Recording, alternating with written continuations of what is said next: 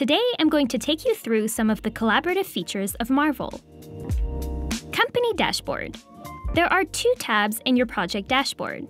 My Projects shows projects that you've created or joined. It also lists the projects a coworker has added you to.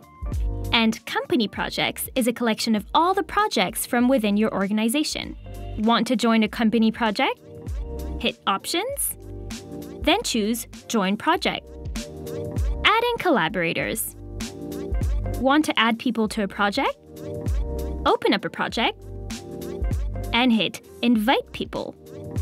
Here, you can add people by team or on an individual basis. Adding people from outside your company plan? Hit Invite by email, fill in the form, then click the Invite button. Roles in Marvel. Want to change a person's role in Marvel? Hit People at the top. Then use the drop-down to change a user's role.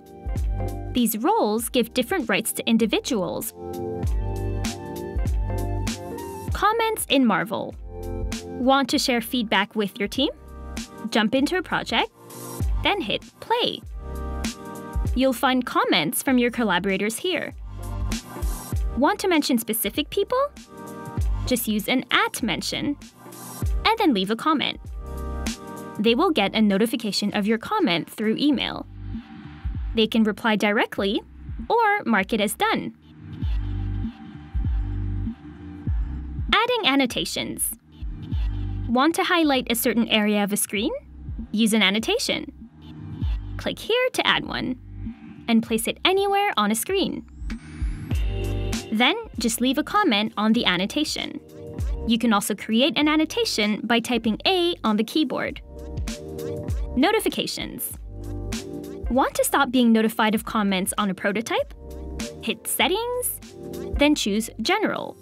If we scroll down, we can untick comment notifications. Simple. Activity feed. Want an overview of company activity in Marvel? Hit the bell, and here you'll get a feed to see what's going on around Marvel. Marvel plus Slack. Want comments from Marvel to appear in Slack? Go into a project, hit Settings, choose Integrations, click Connect. Now authorize Marvel to communicate with Slack. You can also set up more specific settings here. So to test it works, I'll head into a prototype. If I leave a quick comment, then head over to Slack, the comment from Marvel is pulled through to Slack straight away. Great! So that was collaboration in Marvel. Got a question? Drop an email to support at marvelapp.com.